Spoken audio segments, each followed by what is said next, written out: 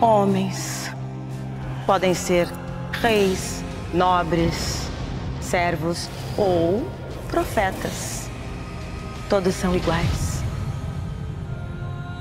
Merecedores de manipulação.